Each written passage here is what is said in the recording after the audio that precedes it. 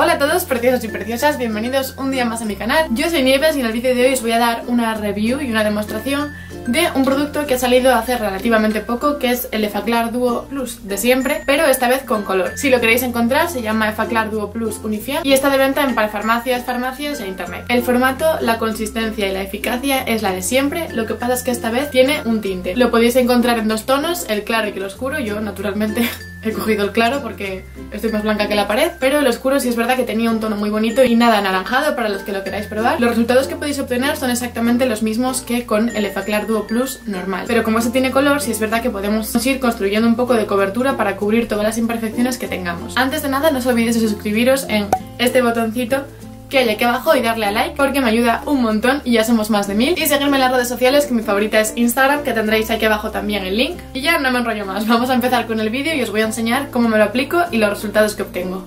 Dentro vídeo. Bueno, voy a empezar con un tónico. Este es el de Tayers, del que ya os hablé en otro vídeo. No es necesario, pero a mí me gusta ponerme una crema hidratante antes. Esta es la Ibuki de Shiseido y es la que voy a usar. Creo que hay una Efaclar que viene también con protección solar, pero como no, cogí la que no era. Así que yo me he hecho protección solar antes de ponerme la crema. Esta es de la Gospose también y es protección 50. Y una vez que ya hemos terminado con las cremas y potines, vamos a pasar ya a utilizar la Efaclar Duo Unifiam para que podáis ver cómo se aplica y qué tipo de cobertura tiene. Voy a aplicármela en la mano, me la distribuyo un poco y voy a distribuirla con esta brocha de Real Techniques. Ha cubierto las rojeces que estaban por aquí. No es una cobertura súper alta, pero lo que importa es disimularlas un poco. Mira, aquí.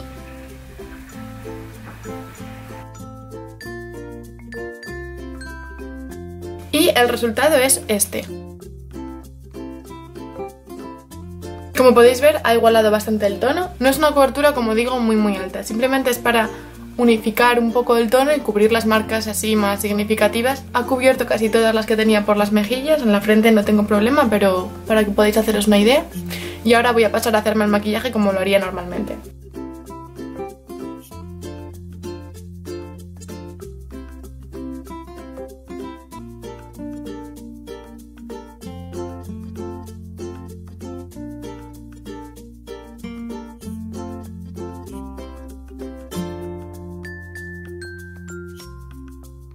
Bueno, y este sería el resultado final después de haberme aplicado aquí todo el maquillaje como lo haría normalmente. El predicto final sería que es igual que una base de maquillaje normal, con poca cobertura. Si quisiéramos más cobertura, lo que yo creo que podríamos hacer sería aplicar una base encima de esto, porque para los que hayáis usado el Efaclar Duo anteriormente, sabéis que es una excelente base de maquillaje y que cuando te pones el maquillaje encima, la verdad es que se expande todo perfectamente. Así que la verdad es que estoy muy contenta con cómo funciona este producto. Me parece que lo seguiré utilizando en el futuro porque tiene las ventajas del Efaclar Duo normal, pero con el tema de la cobertura. Sí que es verdad que tiene la pega de que no lo puedes utilizar por la noche, pero por todo lo demás, sin queja, la verdad.